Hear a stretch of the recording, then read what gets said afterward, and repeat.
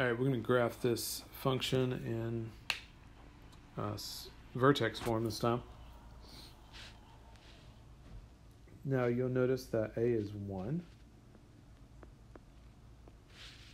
h, there's a minus h in the formula, so when we see x plus 2, that means h is negative 2. Minus in the formula, so we take the opposite of what we see here and then k is positive 2. So what this tells us is that we have a vertex at negative 2, 2.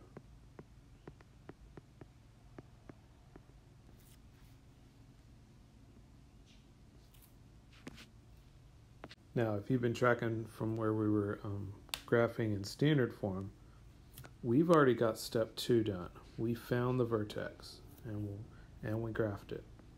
Okay. So we got step two done. The axis symmetry is always a vertical line that goes through the vertex. So we can go ahead and graph that vertical line x equals negative 2. That's our axis symmetry. So we've done step 1. Now we'll put in some x values to the right of the vertex, like negative 1. Now we're going back to the original equation. Anywhere we see an x, put negative 1.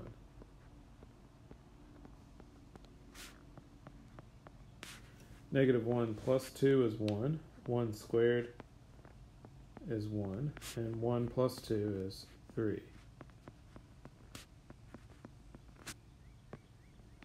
So we have a point at negative 1, 3.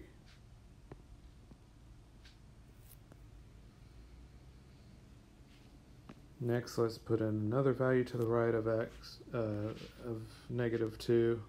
And so now we're at 0. So y equals 0 plus 2 squared plus 2. Order of operations tells us to do what's inside parentheses first. 0 plus 2 is 2, and then 2 squared gives us 4. 4 plus 2 is 6. So we have a point at 0, 6. Happens to be the y-intercept place where our graph intersects the y-axis. Now we'll reflect those points. So we're done with step three. We're connecting, uh, we're, sorry, we found the two points to the right. Now we're reflecting those, finishing up step three.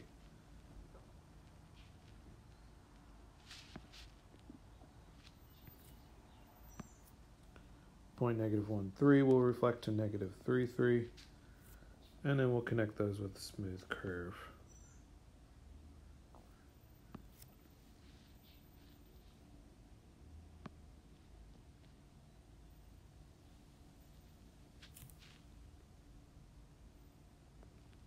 A is positive here, so it's a parabola opening up.